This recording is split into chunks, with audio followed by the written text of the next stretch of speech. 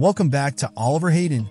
Today, we're diving into the enchanting world of the kakapo, a bird that captivates the heart and soul of nature lovers around the globe. But this story is not just about a bird. It's a tale of survival, resilience, and the delicate balance of our ecosystems. Meet the kakapo, also known as the night parrot. This flightless parrot is native to New Zealand and is one of the most unique birds on the planet. With its olive green feathers, yellow underbelly, and striking yellow-green eyes, the kakapo is truly a sight to behold. But it's not just their appearance that makes them special. It's their fascinating behaviors and their extraordinary story of survival. The kakapo has a rich history, once thriving across New Zealand's forests.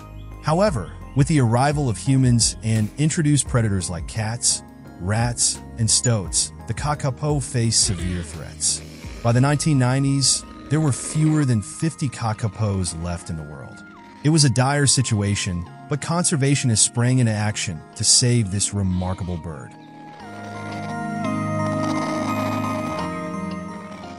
Thanks to dedicated conservation efforts, the kakapo has made a remarkable comeback. Today, there are over 250 individuals, thanks to intensive breeding programs and habitat restoration.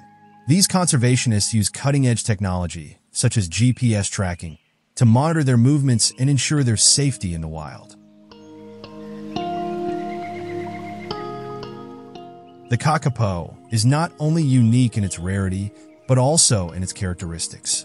Did you know they have a remarkable sense of smell? They can detect food from far away.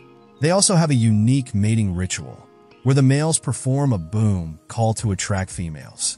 This sound can be heard up to several kilometers away.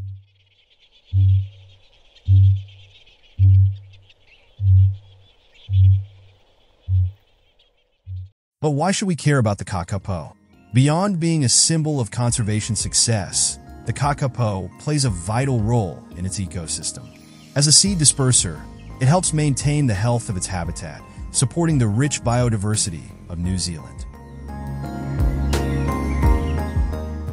You might be wondering how you can contribute to the kakapo's conservation. Here are a few ways. Support organizations dedicated to wildlife preservation, spread awareness about endangered species, and advocate for sustainable practices to protect natural habitats.